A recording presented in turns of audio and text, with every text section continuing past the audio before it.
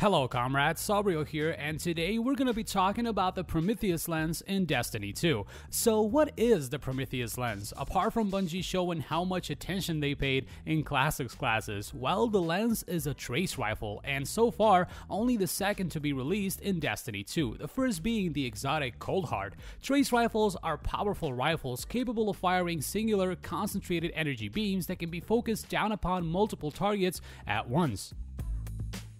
The Prometheus lens generates a field of intense heat the longer it is fired and kills return a fraction of ammo spent. Furthermore, the gun has a 1000 RPM. For the default perks, the barrel has a chambered compensator which increases stability, moderately controls recoil, and slightly decreases the handling speed. It has a projection fuse that increases range and flame refraction, meaning that kills with this weapon return a fraction of the ammo used to the magazine, extending the beam's duration. And finally, a composite stock that slightly increases stability and the handling speed. For the unfamiliar, this means that this gun is OP as anything, and at the time of writing, Xur was selling it, which means that everyone is using it in Crucible, including us. Just look at this majestic montage.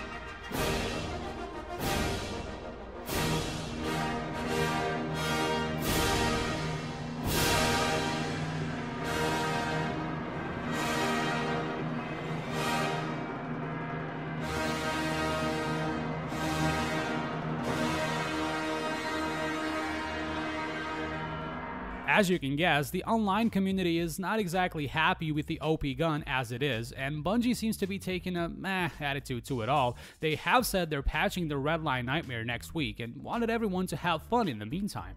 Tweeting on December 8, did you make a bet that we wouldn't let Xur sell Prometheus Lens? It's available in the EDZ. Your move.